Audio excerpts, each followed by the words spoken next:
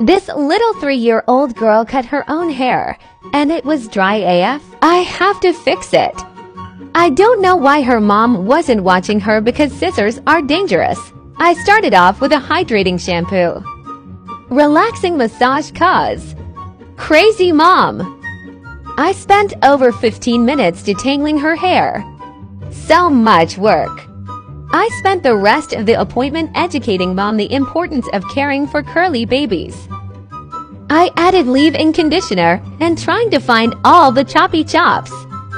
I decided we needed bangs. Look how cute she looks in them. This was the point where mom thought her daughter looked like a vieja. But I told her to shut the fuck up cause she shouldn't have given her scissors. The little girl loved her new hair so much I ended up taking her home with me. Moral of the story, kids of hairstylists have messy hair too.